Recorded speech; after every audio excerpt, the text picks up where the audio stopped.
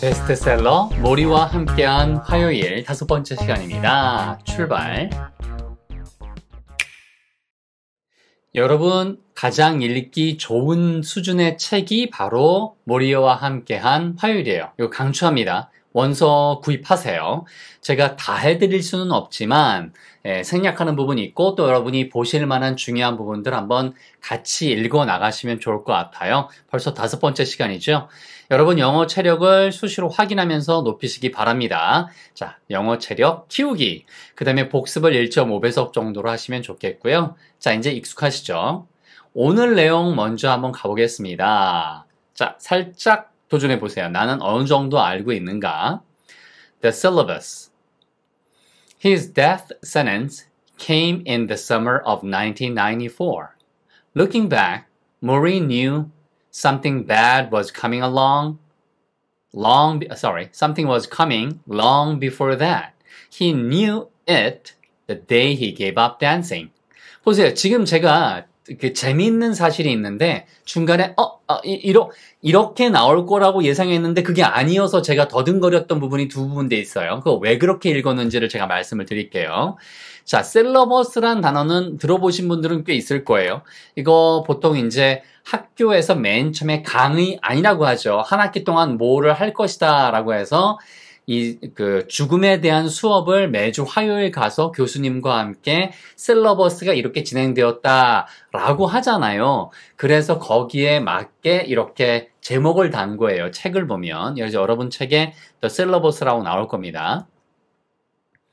그의 죽음은 모리 교수의 죽음의 선고는 이거 알아두세요. 이거 다의어죠. 중급 단어이지만 반드시 알아두셔야 됩니다. 문장이란 뜻으로는 중급은 아니고요. 이게 그 누가 문장을 쾅 이렇게 내린다 선고란 뜻이 있어요. 그래서 법정에서 몇 년 형을 선고했다 할 때 그 선고가 센텐스예요. 그의 죽음의 선고는 came 왔습니다. In the summer 언제요? 이거 쉬운 거죠. In the summer of 여름에 1994년 여름에 그의 어, 사형 선고가 혹 그러니까 사형이라고 좀 뭐하니까 사망 선고가 내려졌습니다. 찾아왔습니다. 라는 얘기고요. 그 다음에 이 구조는 제가 진짜 구문 중요하다고 많이 말씀드렸죠. ing나 ed가 쓰이고 그 앞뒤로 문장이 끝나지 않은 것 같은데 이런 식으로 뭐가 있다? 그렇죠. 예, 커마가 있거나 그러면 느낌이 하면서가 ing, ed가 쓰이면 당하면서 looking back 뒤로 돌아봤을 때 돌아보면서 뭐 다 가능해요. 문맥에 맞게 여러분이 어울리는 것을 예, 선택하시면 돼요. 그래서 ing만 쓴 이유는 바로 거기에 있는 거예요. 그런 다양한 뜻을 알아서 새겨 넣어라 라고 하는 그런 뜻이 아, 이런 어, 분사 구문에 들어 있는 겁니다. 자, 그래서 누가 뭐 했대요? 여기가 주된 내용인 거예요. 모레이는 알았습니다. 그래서 우리말로 돌아보면 이런 뜻이에요. 돌아보면 모리 교수는 uh, knew something new 알았어요. 뭔가요? Something bad was coming. 이게 제가 아까 coming along 이렇게 읽었잖아요. 그래서 뭐가 따라오는 게 come along이거든요. 그래서 가만히 보니까 something bad was coming along 뭔가 안 좋은 게 계속 따라다녔다라고 보았는데 뒤에 before가 보인 거예요. 그래서 아 이거는 그 coming along에 걸리는 게 아니라 long before 이렇게 걸리는 거구나. 그러니까 제가 머릿속에서 그 정리가 딱 두 번에 된 거죠. 그러니까 원어민들도 이렇게 읽을 때 이럴 가능성이 있어요. 예, 물론 뭐 어, 훨씬 더 저기 저 같은 경우도 한 번에 눈에 보이면 이렇게 안 읽을 수도 있고요. 그러니까 가능성은 두 가지 다더라. 무슨 뜻이냐 하면 모리 교수는 알고 있었어요.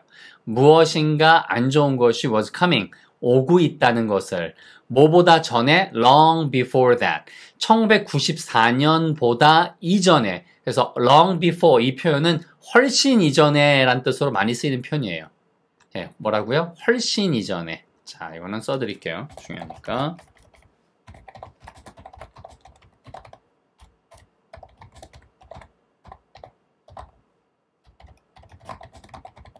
훨씬, 뭐뭐보다 훨씬 이전에 란 뜻으로 이거 여러분 long before 꽤 많이 쓰이는 표현이니까 알아두세요.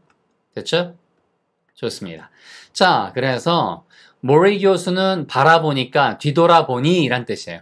그러니까 뒤돌아보니까 생각해보니 모리 교수는 알고 있었던 것 같아요. 여기서 강조할 거는 이렇게 thing이나 이런 단어들이 쓰이면 여러분 이거 알고 계시죠? 제가 알평문청에서 많이 해드렸어요. 형용사가 bad something이 아니고 something bad처럼 뒤에서 꾸며줍니다.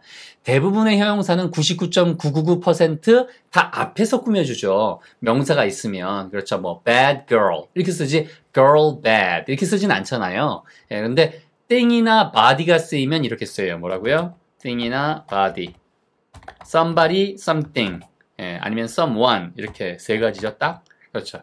그래서 something, somebody, someone 이렇게 thing, body, one이 쓰이면 형용사가 뒤에서 꾸며주더라. 이게 다입니다. 아시겠죠? 자, he knew it. 그는, 그는 알았습니다. The day he gave up dancing. 그가 뭐 한 날 알았습니다. 이것도 알아두세요. 이거 중국 표현에 가깝긴 한데 이게 when과 똑같은 구조로 쓰여요. The day가 when과 똑같은 구조예요. 이게 똑같, 똑같은 거예요. 그래서 이 구조에서 그는 알았습니다. When he gave up dancing. give up 다음에 in 동사의 ing가 쓰이면 뭐뭐 하던 것을 멈추다란 뜻이에요, 여러분. 알고 계시죠? 예, 그래서 give up은 뒤에 to가 안 나오고 이렇게 to dance라고 안 나오고 give up ing 왜? 계속해서 진행되는 걸 멈, 포기하는 거지 포기하는 거지 앞으로 할 것을 포기할 수는 없잖아요. 예, 그러니까 예, 그거는 안 하기로 결정하는 거지 포기하는 게 아니죠. 예, 그러니까 그런 점에서 up 다음엔 ing만 쓰이더라. 이것도 예, 뒤에 알아두시고요.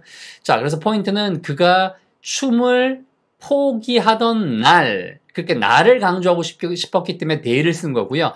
포기하던 때, 그러면은 when을 써도 돼요. 예, 아시겠죠? 그래서 이런 식으로 예, the day 그 다음에 주어 동사 그러면 뭐뭐 하던 날 이런 뜻이고 when 주어 동사 그러면 뭐뭐 하던 때란 뜻이에요. 그러니까 굉장히 중요한 표현들 나왔습니다. 이렇게 제가 표시해 둔 거를 복습하실 때 보시면 정말 피가 되고 살이 되실 거예요. 요거 가지고 도전해 보세요. 복습 갑니다. The syllabus.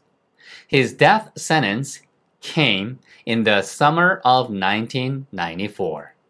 Looking back, Marie knew something bad was coming. Long before that, he knew, he knew it the day he gave up dancing. 그러니까 무엇인가 나쁜 것이 바로 그것을 알았습니다. death sentence인 거죠. 그의 죽음에 대해서 알았습니다라는 뜻으로 he knew it. 언제요? When he gave up dancing. 그렇죠? 자, 그 다음에 part 2 한번 가볼게요. 이거는 길어서 제가 한번 중간에 잘라보도록 하겠습니다. 이 정도에서 자르면 되지 않을까. 자, 하겠습니다. 여기부터 보세요. He had always been a dancer. My old professor. The music didn't matter. Rock and roll, big band, the blues.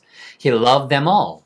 He would close his eyes and with a blissful smile begin to move move to his own sense of rhythm. 됐습니다. 일단 여기까지 할게요. 그 모리 교수가 춤을 포기한 날 자기가 죽음이 시작됐다는 걸 알게 됐다고 했잖아요. 그러니까 그만큼 평소에 그 포기하지 않을 정도로 춤추는 걸 좋아했더라라는 이야기가 나오겠죠. 그래서 모리 교수는 he had always been a dancer. 항상 춤을 좋아했습니다. 우리말로 춤꾼이었어요 란 뜻의 a dancer가 있는 거고 그 다음에 예전에 그 he was a dancer 해도 되는데 왜 had been이라고 썼냐 하면 그렇죠. 그런 오랜 기간 동안이란 뜻으로 보시면 되겠어요. 예, 그래서 had been은 어려운 표현이긴 하지만 포인트는 이거 모르면 그냥 was 써도 되더라. 뭐라고요? 얘랑 똑같이 he was a dancer 이렇게 쓰셔도 돼요. 앞에 had been을 아시겠죠? 예, 이런 식으로 됐습니다. 그래서 he always 아시겠죠? 예. 자, 그래서 he always 이런 식으로 always가 포인트고 he had always been a dancer. 그래서 he was always a dancer 이렇게 써도 됩니다. 그래서 my old professor. 그 dancer가 뭐예요? 나의 옛날 스승님이란 뜻이죠. 이게 old가 나이 든의 뜻도 있지만 제가 오래 알고 지낸 혹은 옛날이란 뜻이 있다고 그랬죠. 그래서 지금은 나의 교수는 아니지만 옛날 교수님이란 뜻으로 보시면 되는 거예요. 됐고요. The music didn't matter. 음악은 문제가 안 됐어요. 아, matter라는 단어가 물질이란 뜻도 있지만 문제가 되다는 뜻도 있는 거 알고 계시죠? 이건 알아두셔야 되는 예, 기본 단어고요. It doesn't matter 할 때처럼 어 음악은 뭐가 나오던 문제가 안 됐어. didn't matter 이런 것도 한번 보셔야 됩니다. 그게 락큰롤이건 빅밴드라고 해서 이건 재즈거든요. 재즈에서 한 30명 정도 이상의 혹은 20명 정도, 20, 30명 정도 되는 밴드가 뭐 트럼펫도 있고 나서 빠바바밤빰빰 빠라밤빰빰 빠밤빰 빠밤빰 빠라바라밤 빠라바라밤빰 이런 식으로 여러분 뭔가 쭉 나오는 거 있죠. 예, 그래서 그게 big band예요. 이게 어, 20년, 30년, 40년 요때에 굉장히 많이 유행했고요. 또 blues 우리가 브루스 브루스 하잖아요. 그게 이제 예, 이게 blues는요. 좀 우울해지는 음악인 거예요. 우리가 생각하는 그 브루스는 slow dance라고 영어로는 해요. 뭐라고요? slow dance. 그러니까 천천히 추는 이런 slow dance라고 하고 이 blues는 좀 다른 거. 우리가 생각하는 그 blues랑 전혀 다른 거예요. 이거는 아, 우리가 알고 있는 뭐 지미 핸드릭스라든가 아니면 옛날 티본 워커 뭐 이런 어쨌든 이거는 미국의 그러한 흑인들의 애환을 다룬 아주 애환이 섞인 음악 요 정도예요. 그래서 여기는 사실은 문화적인 내용이니까 하나도 몰라도 돼요. 하지만 저는 그 문화적인 경험이 있으니까 여기 이거를 보고 아주 확 빠져드는 거예요. 어, 이거 내가 좋아하는 건데. 전부 다 저도 이거 좋아하거든요. 그래서 문화를 아시면 이 글 읽기가 더 좋아진다는 뜻. 재밌어지고. 엘비스 프레슬리 같은 락큰롤이나 예, 재즈 시대의 big band나 아시겠죠, 여러분? big band music이 있죠, 여러분. 스윙 같은 거, 스윙.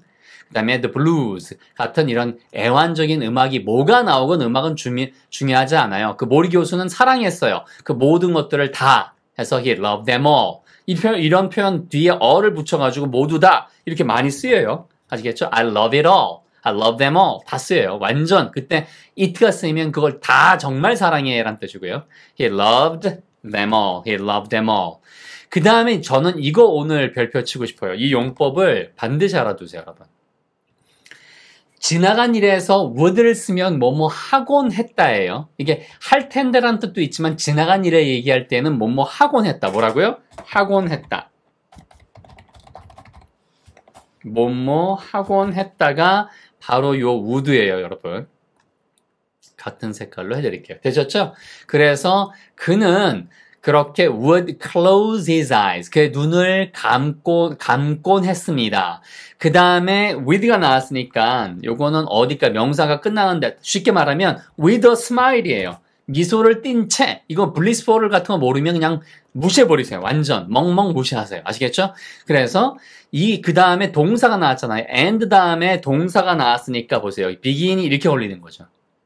예, 이런 구조를 알아두시는 게 두 두 가지를 알아두셔야 되는데 하나는 뭐냐면 would 뭐뭐 하곤 했다는 뜻을 알아두시고 he would close 그 다음에 and가 나왔으니까 얘는 뭐예요? 그렇죠. He would begin 이렇게 되는 거죠. He would begin이죠. begin이 아니고 begin to move. 그는 눈을 감곤 했습니다. 그 다음에 미소를 띄으며, 띄며가 바로 이거잖아요. 에이, with요, with. 이런 게 굉장히 세련된 표현이라고 그랬죠, 여러분. 움직이기 시작했습니다. 그리고 저는 춤을 춘다고 했기 때문에 뭐뭐에 맞춰서 라고 할 때는 to가 쓰인다는 게 머릿속에 있어요. 그걸 여러분도 잡아가셨으면 하, 합니다. to라고 하는 거 반드시 알아두세요. 그래서 move to 어디에 뭐 따라서 노래 부른다, 예, sing to 아시겠죠? 예, 이런 식으로 move to, sing to 아니면 dance to 다 좋아요. 그래서 어디 어디에 따라서 움직이고 춤추고 노래 부른다 할 때 to를 써요. 장단에 맞춰라고 할 때. to his own sense of rhythm. 그렇죠. 자기 그 자신만의 감각, 리듬, 아, 리듬감이죠. 그 자신만의 리듬감에 맞추어 어, 움직이기 시작했습니다. 그리고 그 다음에 blissful을 아시면 돼요. blissful 하는 거, 이 bliss가 우리가 알고 있는 행복감이에요. 행복감이 가득 찼다. 아, 지극히 행복한 미소를 지으며 라는 뜻입니다. 얘는 중고급 단어예요. blissful은요. 아시겠죠? 나중에 하셔도 상관없어요. 됐죠? 그래서 여기 한번 해드리면 그는 항상 그렇게 춤꾼이었어요. 나의 옛날 교수님은요. 음악은 문제되지 않았죠. 락큰롤이건 빅밴드건 혹은 예, 흑인의 애완는 담은 블루즈건 그는 모든 음악을 다 사랑했어요. 그는 학원했죠. 그의 눈을 감고요. 지극히 행복한 미소를 띄우며 움직이기 시작했어요. 그렇죠. 그의 나름대로의 리듬감에 맞추어 됐습니다. 자, 그 다음 거 한번 가볼게요. 이건 그냥 하겠습니다. 자, it wasn't always pretty. 보세요. 재밌게도 이런 부분이 글을 잘 쓰는 것 같다, 이 사람이. 그냥 미화하려고 하는 게 아니라 그 교수의 춤이 항상 그렇게 예쁘지는 않았어요. 그러니까 춤이 보기에 그렇게 항상 멋지지는 않았어요의 표현을 이런 식으로 쓴 거예요. 그리고 여러분한테 강조하고 싶은 거는 이 구문이에요. not 플러스, 이게 not이잖아요. not의 줄임말이죠. 예. 그 다음에 always. 그러면은요, not always. 그러면은 not always. 다 좋습니다, 발음은. 이거는 항상 뭐뭐 한 것은 아니다. 뭐라고요? 항상 위에다 써드릴게요. 이게 더 낫겠네. 항상 뭐뭐 한 것은 아니다. 이게 뭐예요? not always예요. 그래서 이게 여러분 부분 부정이라고 하는 거 있죠. 그러니까 그 말을 외울 필요가 없고 항상 그렇다, 항상 아니다가 아닌 거예요. 그것은 항상 예쁘지는 않았다란 뜻이 아니고 항상 예쁜 것만은 아니었습니다. 이렇게 하셔도 돼요. 그러니까 어떤 때는 그 춤추는 게 귀엽고 너무 잘 추실 때도 있지만 항상 그렇게 보기에 좋은 것은 아니었습니다. 이렇게 부분만 부정하시라는 뜻이에요. 오늘 나온 것 중에서 이거 꼭 잡아가세요. But then 자 하지만 그때에 그렇죠. 예. 그러 그때는 이란 얘기죠. 예, 그러니까 뭐 그 당시에 예, he didn't worry 그는 걱정하지 않았어요 about a partner 예, 뭐에 대해서 같이 춤출 때는 파트너가 있어야 되잖아요. 예, 상대편에 대해서 걱정하지 않았어요. Murray, 그쵸? 예, Murray는요, danced by himself. 이거 뭐 by oneself는 혼자서란 뜻이죠. 스스로 혼자서. 이거는 알아두셔야 되는 표현이에요. by oneself. 됐습니다. 얘는 구문은 아니고 예, 일종의 그 살이 되는 표현인 거고 not always 같은 것들이 구문인 거예요, 얘는. 뼈대, 뼈대. 아시겠죠? 그것은 그 춤추는 것은 항상 그렇게 보기에 좋은 것만은 아니었습니다. 하지만 그 당 그때 그는 뭐 그리 걱정하지는 않았어요. 에, 옆에 같이 출 파트너가 있건 없건 모리 교수는 항상 춤을 혼자 췄습니다. 라는 뜻이죠. 그만큼 행복감에 가득 찼고 남의 눈치 보지 않았다라는 뜻으로 보시면 정말 나중에 죽음을 대하는 태도에서 아주 정말 멋진 그런 사람의 마음을 울리는 이 모리 교수의 아주 멋진 명언들이 많이 나오잖아요. 그걸 보면 평소에 이 사람의 행복감에 대한 철학이 드러납니다. 자, 여기까지고요, 여러분. 복습 한번 여러분 도전해 보세요. Ready? Okay. He had always been a dancer, my old professor. The music didn't matter. Rock and roll, big band, the blues, he loved them all. He would close his eyes and with a blissful smile begin to move to his own sense of rhythm. It wasn't always pretty, but then he didn't worry about a partner. Marie danced by himself. 자, 이렇게 빠르게 보실 때 제가 설명드렸던 게 기억나는가? 정말 잘 따라오시는 분은요, 실력이 일취월장 하실 수밖에 없어요. 포기하시는 분은 뭐 어쩔 수 없고요. 예, 그래서 여러분 힘내시라고 포기 절대 don't give up. 아시겠죠? 죽음은 삶을 끝내는 것이지 관계를 끝내는 것은 아니야. 저도 이런 어, 그 모리 교수의 말을 듣고 정말 감동을 많이 했어요. 정말 많아요. 한 정말 수십 군데 됩니다. 그거 여러분 예, 필요한 것들은 잡아드릴 테니까 death ends a life. 그렇죠? 예, 관계를 끝내는 건 아니다. 남아있는 사람들이 그렇죠. 마음속에 그 사람을 그리워하고 그 다음에 그 사람의 영향을 받았으니까 자 이렇게 기억하시면 될 것 같습니다. 베스트셀러 머리와 함께한 화요일 다섯 번째 시간이었고요. 원서 구입하시고요. 제가 중간중간 발췌하면서 함께 읽어 내려가 보도록 해요. 여러분 좋아요. 그 다음에 그냥 가시지 마시고요. 구독 버튼, 주의 추천은 감사드립니다. Thanks a lot. See you next time. Take good care. Bye.